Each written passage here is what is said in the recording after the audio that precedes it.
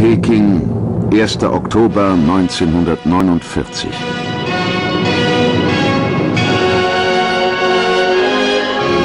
Nach vier Jahren Bürgerkrieg haben Maos Truppen das Land erobert. Der Bauernjunge aus Shaoshan ist am Ziel. Chiang Kai-shek ist vertrieben.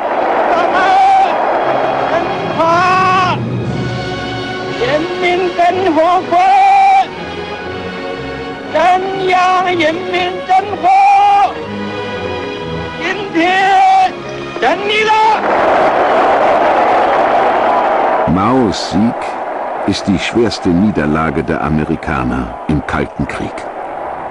Ein Sieg auch für den Machthaber im Kreml. Das bevölkerungsreichste Land der Erde, jetzt in seinem Machtbereich. Ein Triumph. Antrittsbesuch beim großen Bruder. Zum ersten Mal reist Mao ins Ausland. Sie versprechen sich Freundschaft.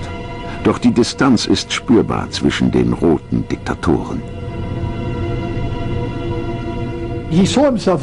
Er sah sich als loyaler Führer und Gefolgsmann Stalins im Kampf um die kommunistische Weltherrschaft. Er sagte, wer, wenn nicht Stalin, gibt die Befehle. Was Mao am meisten beeindruckt, ist der Kult um Stalin als Ehrengast beim 70. Geburtstag im Dezember 1949. Aus Stalinismus wird Maoismus. Chinas Erlöser heißt Mao Zedong, verkündet das Lied Der Osten ist rot.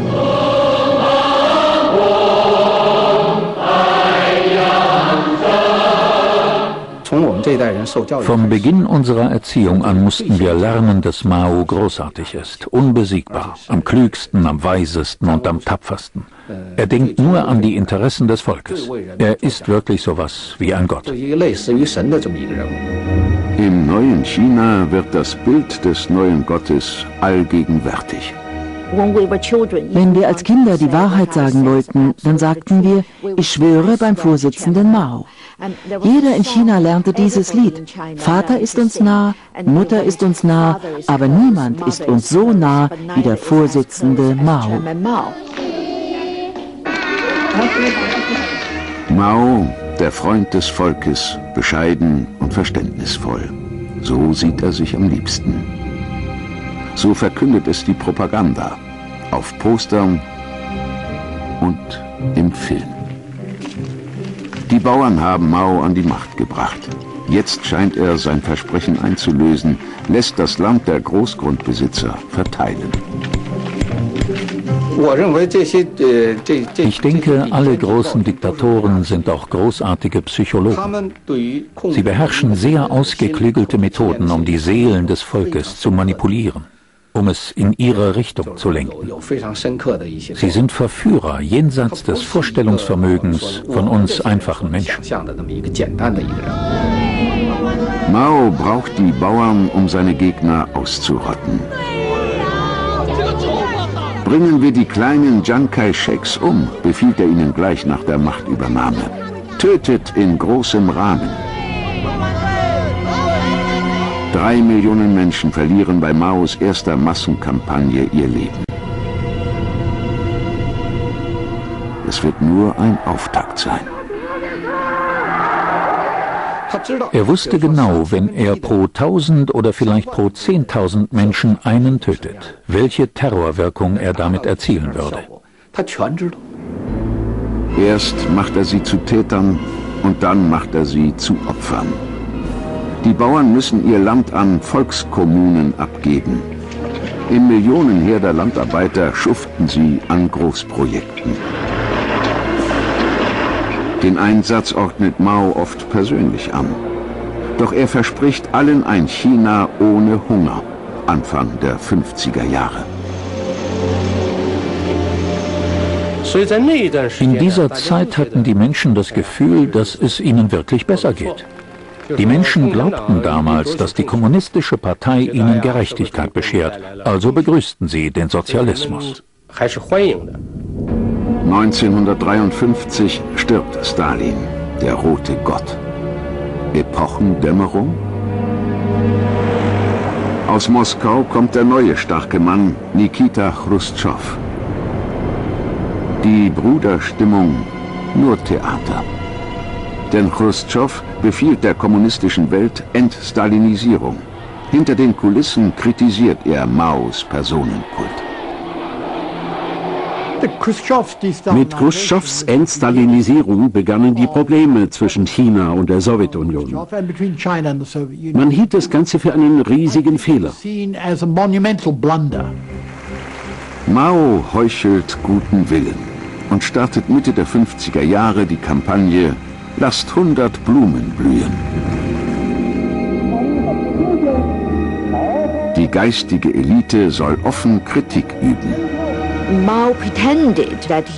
Mao tat so, als würde er verschiedene Ansichten zulassen, als würde er Vorschläge und Kritik begrüßen. Doch er stellte eine Falle. Wer den Mund aufmachte, sollte vernichtet werden. Als die Kritiker sich äußern, erklärt Mao sie zu Rechtsabweichlern. Das Ritual der Selbstkritik wird ihnen nichts nutzen. Hunderttausende verschwinden zur Umerziehung in Arbeitslager. In Khrushchev sieht Mao seinen persönlichen Feind. Am 10. Jahrestag der Revolution wirft er ihm den Federhandschuh hin. Chinas Diktator demonstriert, wer künftig Nummer eins im Roten Lager sein will. China soll eine Industrienation werden. Über Nacht. Seinem Volk verspricht er goldene Zeiten durch den großen Sprung nach vorn. Im ganzen Land schießen Zehntausende von primitiven, selbstgebauten Volkshochöfen wie Pilze aus dem Boden.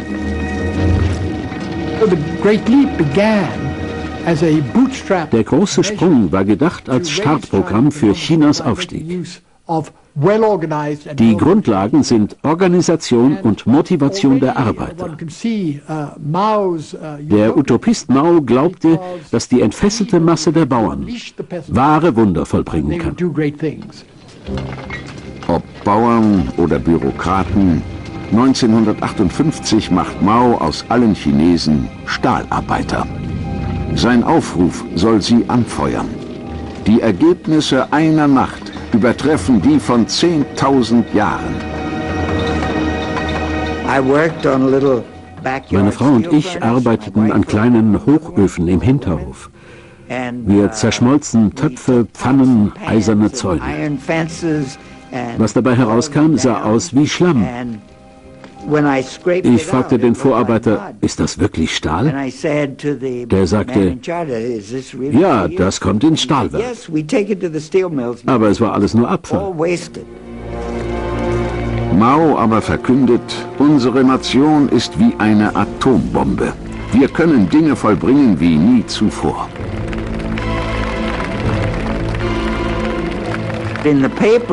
Die Zeitungen verkündeten riesige Zahlen. Wir machen 10, 15 Millionen Tonnen Stahl. In fünf Jahren überholen wir Großbritannien. Doch Maos wahres, geheimes Ziel war, in fünf Jahren die USA zu überholen. Die Folgen des Größenwahns. Die Landwirtschaft bricht zusammen. Hungrige Bauern schlachten selbst die Büffel, die ihren Pflug zogen.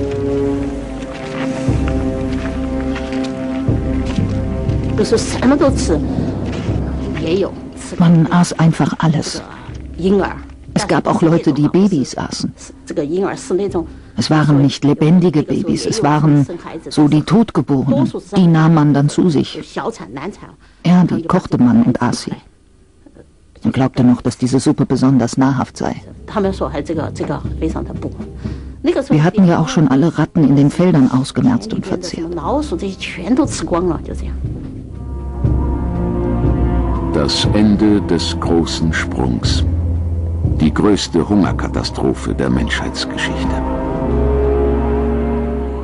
Ganz im Südwesten sind zwei Drittel verhungert. Ich habe in einer Studie festgestellt, dass in China 43 Millionen Menschen an Hunger gestorben sind.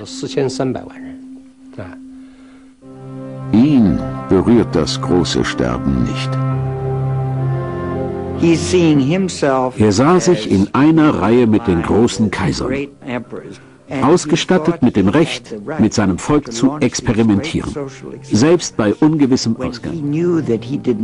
Ich selbst hörte ihn das sagen, beim großen Sprung nach vorn. Doch jetzt wird der Rote Kaiser zum ersten Mal kritisiert. Von Liu Shaoti, bisher ein treuer Weggefährte. Jetzt bittet er die Bauern um Vergebung.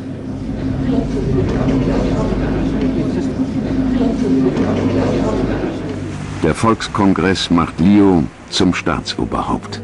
Mao zieht sich aus dem Regierungsalltag zurück. Doch gestürzt wird er nicht. Mao war Chinas Lenin und Stalin. Er hatte die Revolution angeführt. Ohne ihn hätten seine Kollegen keine Macht, kein Ansehen, keine Privilegien. Deshalb war er unangreifbar. Mehr denn je verlässt Mao sich jetzt auf die Armee. Er verspricht ihr, China zur Weltmacht aufzurüsten. Dafür lässt Mao, selbst in den Jahren des Hungers, Technologie im Ausland kaufen. Dann hat er sein Ziel erreicht. 1964 ist China Atommacht. Auf Augenhöhe mit den USA und Russland. Der Jubel ist inszeniert. Echt ist der Wunsch der Chinesen nach einem bisschen Wohlstand. Maos Rivale Liu sorgt für Jahre der Ruhe. Es gibt wieder zu essen. Nicht viel, aber genug. Und manchmal werden Träume wahr.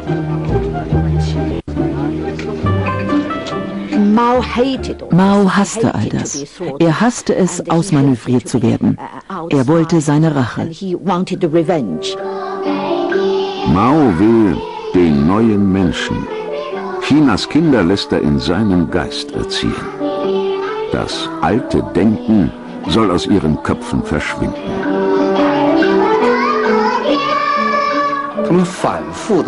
Die Kommunisten bekämpften immer wieder den sogenannten bürgerlichen Humanismus. Zum Beispiel zu wenig Hass gegen den Klassenfeind. Menschlichkeit, ein Gewissen zu haben, Abscheu vor Folter und vor Grausamkeiten, das alles gehörte zu diesem bürgerlichen Humanismus. Er ist so, wie Mao die Jugend gerne hätte. Der Mustersoldat Lei Feng zu seinen Lebzeiten kannte ihn kaum jemand.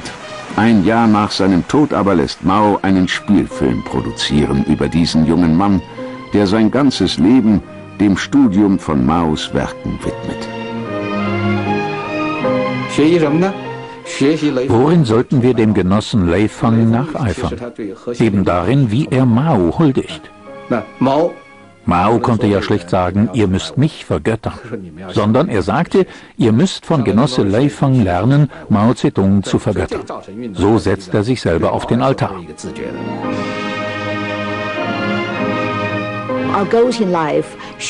Wir sollten kleine Rädchen in Maos Maschine sein. Das sollte unser Lebensziel sein. Mao wollte uns selbstlos und ohne Verstand, damit er nur den Knopf seiner Maschine zu drücken brauchte.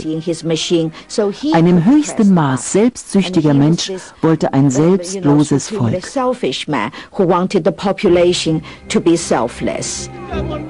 Was der echte Lei Fang wirklich dachte, wird nie jemand erfahren können. Er starb 1962 unter nie geklärten Umständen. Jahre wartet Mao im Hintergrund. Er sei ein kranker Mann, behaupten seine Gegner. Dann kommt die Stunde der Rache.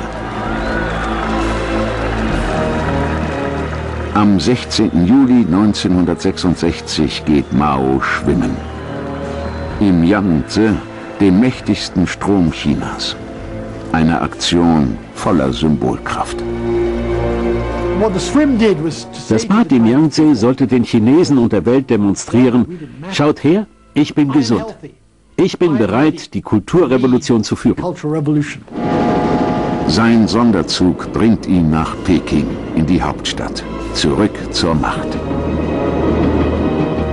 Diesmal macht Mao Chinas Jugend zu seinem Werkzeug. Die Saat der Gewalt, die er gesät hatte, war reif für die Ernte. Sie sollen Mao beschützen, sagt man den Jugendlichen. Sie sollen brutal sein, auf Maos Feinden herumtrampeln. Wandzeitungen veröffentlichen seinen Aufruf, Rebellieren ist gerechtfertigt. Fangt in den Schulen damit an. Auf einmal wurden die Prüfungen abgeschafft, weil Prüfungen etwas Schlechtes seien. Für uns war das eine große Befreiung und wir waren sehr glücklich.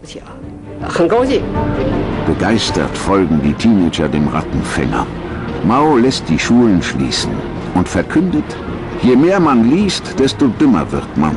Ihr Jungen dürft Fehler machen, solange eure Gesinnung richtig ist. Warum haben wir uns am Beginn der Kulturrevolution so engagiert? Weil wir dachten, dass uns eine Chance gegeben wird.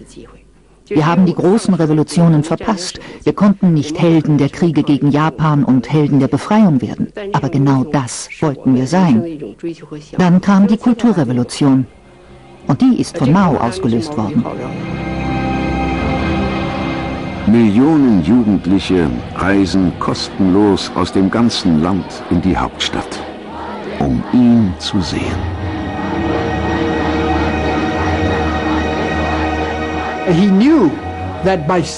Er wusste, sein Erscheinen würde sie geradezu mit revolutionärem Geist erfüllen. Der Kult war eine mächtige Waffe in seiner Hand. Sie nennen ihn den größten Lehrer der Menschheit.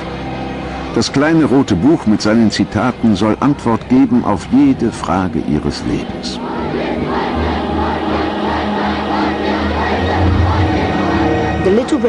Das kleine rote Buch, Mao pries es, verglich es mit der Bibel, den Lehren des Konfuzius, sogar mit den Schriften Buddhas. Also Für die Seefahrt braucht man einen Steuermann.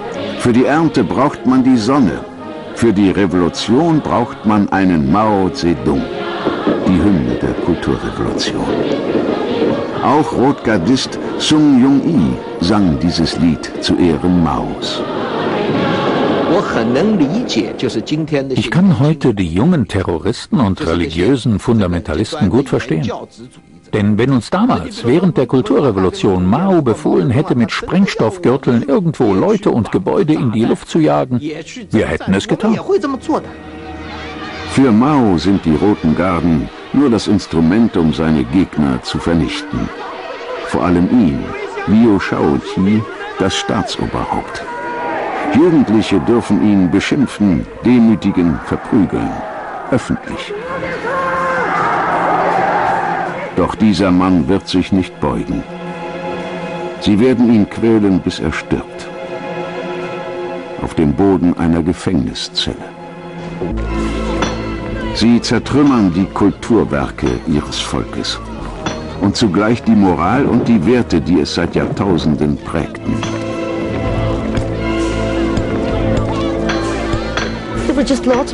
Es gab einfach jede Menge Leute, die Gewalt liebten, Sadisten. Mao gab ihnen die Lizenz, sich auszutoben. Und so tobten sie ihre Gewalt aus. Monate des Terrors. Rote Garden durchsuchen die Häuser. Ein Lippenstift, eine Sonnenbrille, das reicht, um als Konterrevolutionär zu enden. Kinder denunzieren ihre Eltern. Wir wurden so erzogen. Wer gegen Mao war, der war unser Todfeind. Da gab es überhaupt keine Diskussion.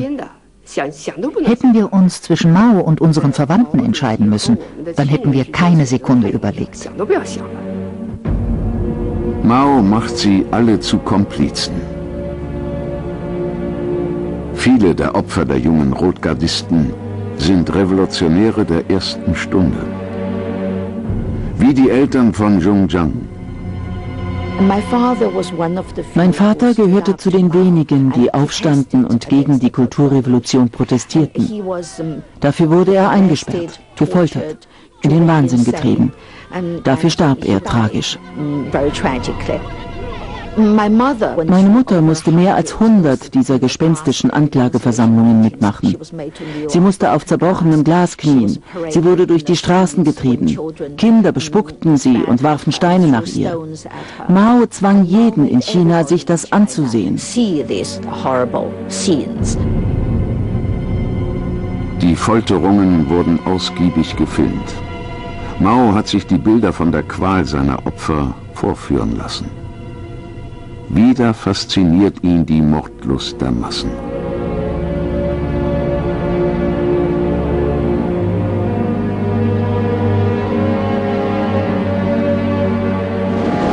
Er selbst hält sich abseits. Er, der seinem Volk Verzicht und Arbeitseinsatz predigt, führt das Leben eines Müßiggängers, schläft bis in die Mittagsstunden. Wie widerwärtig Mao war, zeigt sich darin, dass er extra jemanden hatte, der ihn mit Frauen versorgte. Ein Beispiel. Mao hatte eine Geliebte namens Zhang Yifang. Als sie den großen Vorsitzenden kennenlernte, war sie ein schlichtes, unschuldiges Bauernmädchen, das damals als Zugschaffnerin arbeitete. Sex mit jungen Mädchen, so glaubt Mao, könne sein Leben verlängern. Er macht von dieser Philosophie reichlich Gebrauch. Und er nutzt sogar den Frust der Ehefrau. 30 Jahre stand Jiang Qing im Abseits, politisch und privat. Jetzt hat ihr Mao eine Schlüsselrolle anvertraut. Als Kopf der später sogenannten Viererbande darf sie die Hexenjagd auf Maos Gegner steuern. Mao ließ sie all die Schmutzarbeit machen, die andere nicht machen wollten. Er wusste, dass sie voller Gift ist. Er sagte einmal in der Familie, Jiang Jing ist wie ein Skorpion. Und er wackelte dabei mit seinem kleinen Finger wie ein Skorpion. Madame Mao entgleitet die Kontrolle. Gruppen bewaffneter Rotgardisten ringen um Maos Gunst. Chaos bricht aus. Die Revolution frisst ihre Kinder. Millionen kommen bei Kämpfen ums Leben. Jetzt macht Mao kehrt. Parteitag 69. Draußen im Land hat der Parteichef das Kriegsrecht verhängt. Drinnen im Saal stellt die Armee zwei Drittel der Delegierten. Er lässt sich als Sieger feiern. Seine Gegner hat er vernichtet oder ausgeschaltet. Die Rebellion der Jugend hat ihre Schuldigkeit getan. Mao löst die Roten Garden auf. Schüler und Studenten verschickt er aufs Land. Sie sollen in seine Fußstapfen treten, auf den langen Marsch gehen. Umerziehung. Wieder einmal. Als wir ins Dorf gekommen sind, bestand unsere erste Arbeit darin, dass wir von Tür zu Tür Maos Werke zu den Bauern brachten. Wir erklärten ihnen die Theorie des Klassenkampfes und wie sie die schlechten Elemente und Gutsbesitzer im Dorf bekämpfen sollten. Aber nach einiger Zeit wurde uns klar, dass die Bauern ganz andere Ansichten hatten als wir. Jahrelang werden die einstigen Rotgardisten in Dörfern leben unter primitivsten Verhältnissen, abgeschnitten von der Außenwelt. Eine verlorene Generation. Unterricht gibt es nur in Mao-Zitaten. Dies ist nicht das China, von dem sie träumten. Ich fragte mich, wie konnte es sein, dass nach so vielen Jahren der Revolution es den Arbeitern und Bauern immer noch so schlecht geht? Die einfachen Leute wurden nicht als Menschen angesehen. Ich begann die Revolution zu verabscheuen. Die Arbeiter wurden dermaßen verachtet und schlecht behandelt. Für mich war das grausam. Das hat mir die Augen geöffnet. Maos Traum vom neuen Menschen zerbricht an der Wirklichkeit. Wir begannen zu zweifeln. Vor allem, ob das, was uns beigebracht wurde, wahr oder unwahr ist. Und noch etwas anderes ist wichtig. In uns keimte wieder das menschliche Gewissen.